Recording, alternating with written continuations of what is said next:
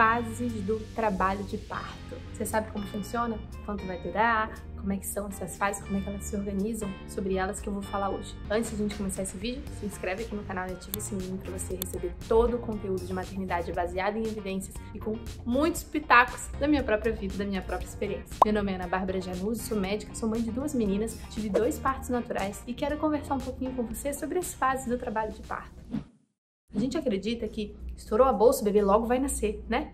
Ou não, o bebê vai, o parto vai demorar 40, 50, 60 horas. Quantas histórias a gente já não ouviu de pessoas que ficaram dois, três dias em trabalho de parto? O trabalho de parto é dividido em fases que são distintas, mas que conversam entre si. Então, eventualmente, a gente olhando não consegue identificar muito bem se a gente está numa fase, se já está chegando na outra, mas depois, quando as coisas acontecem, a gente entende, fala, ah, sim, era a fase latente, ah, aquilo já era o expulsivo. Então, basicamente, o trabalho de parto se desenrola em quatro fases diferentes. A primeira fase do trabalho de parto é a fase latente. Essa fase latente é uma fase em que a gente tem contrações, elas não são muito ritmadas ainda, elas ainda não têm potência, elas estão ali, chegando. Dói, a contração incomoda, mas não tanto quanto as contrações de fase ativa. A gente sente desconforto, mas o bebê ainda não entrou de fato no trabalho de parto ativo, não tá pertinho, pertinho dele nascer. Obviamente, todos os trabalhos de parto são diferentes, pode ser que no seu caso o bebê rapidamente nasça. Logo depois da fase latente, você já entra na fase ativa e o bebê logo nasce. Mas a fase latente pode ser um pouco arrastada sim, e pode até ter um pouco de dilatação. Dentro da fase latente, você pode até 4, 5 centímetros de dilatação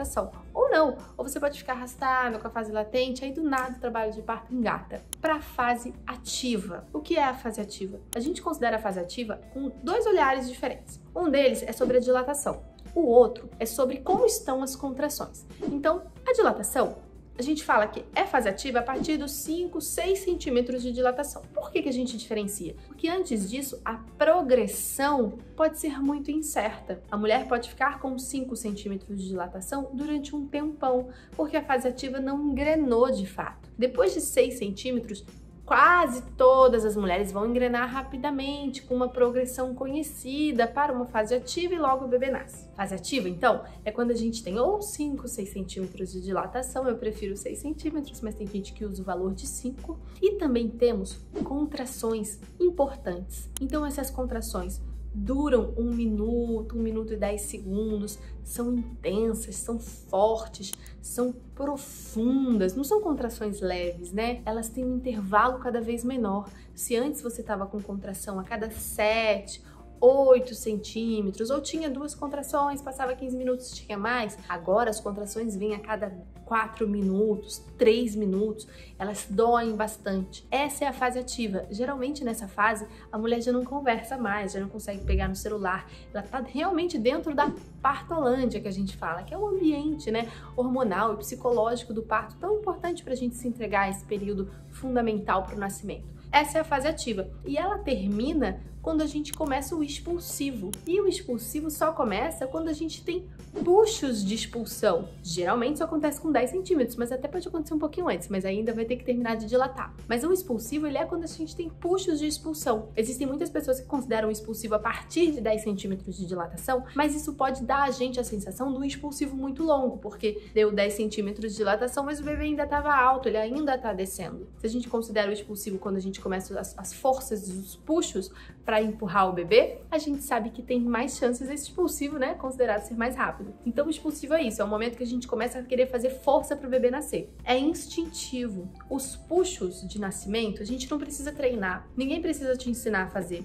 Ninguém sabe fazer melhor do que você. O seu corpo foi preparado para fazê-los. Então se alguém quiser falar para você, faça puxos assim, força de cocô, bota o queixo no peito, prende o ar, faça aquilo que o seu corpo te pede para fazer. Inclusive, botar o queixo no peito, segurar o grito, prender o ar, não são boas estratégias de expulsivo. O ideal é que você faça aquilo que o seu corpo quer fazer. Existem, inclusive, vocalizações que a gente vê, um, um som mais da garganta aqui, que relaxam o períneo e que são muito comuns na hora do expulsivo. Por isso que não faz sentido a gente falar para a pessoa não fazer barulho, não gritar, porque isso tudo se relaciona com o períneo e o relaxamento e a possibilidade do bebê passar por ali. Esse é o expulsivo. Nascido do bebê, temos o final. O parto não acabou ainda. No meu primeiro ano de residência, eu vi um bebê nascer e eu fiquei tão emocionada que eu esqueci que tinha placenta esquecer disso. Saí andando assim, olha, emocionadíssima e a placenta lá. Que bom que eu tinha os staffs para cuidarem de mim naquele momento.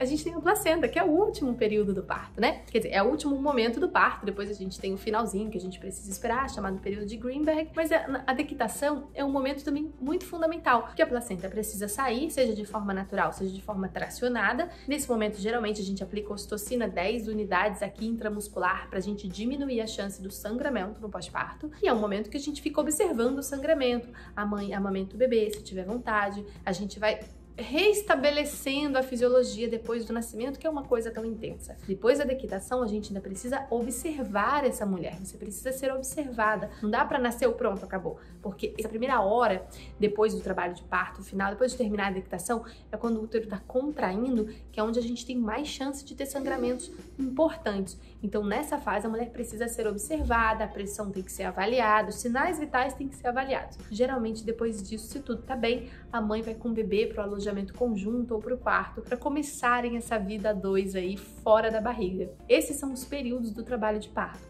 Eles podem ser mais ou menos longos a depender de cada mulher. O expulsivo pode durar 5 minutos ou pode durar 2 horas. A fase latente pode durar um dia ou pode durar 2 horas. A fase ativa também pode ter uma duração variada. Se a gente tenta colocar essa mulher numa tabela de que deveria durar tantas horas aqui, tantas horas aqui, tantas horas aqui, geralmente a gente intervém mais do que o necessário. É muito importante que você tenha um bom profissional de saúde te acompanhando e que os profissionais de saúde, obviamente, se atualizem. Espero que esse vídeo tenha sido bacana para você que está gestante. Te desejo um excelente parto dentro das suas expectativas, com o melhor cuidado possível, que seja o melhor parto possível para você. E no que eu puder te ajudar, tô aqui. Um abraço e até o próximo vídeo.